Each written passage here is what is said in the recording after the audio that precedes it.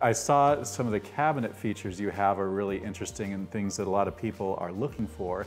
And um, one of those is this blind corner right behind us at the lower cabinets. You have a, a couple of what we call Kesseböhmer pullouts, mm -hmm. which give you really good access to that blind corner. Yeah.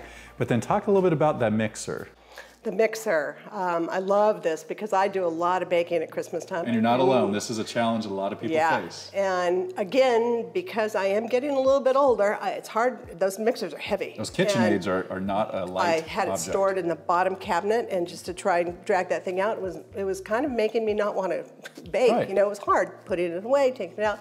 And so it became challenging for me. So when Jeffrey actually brought up, hey, do you think you might want to have one of these? And my husband was like, that's exactly what she needs. Great for Christmas, he gets all of his cookies.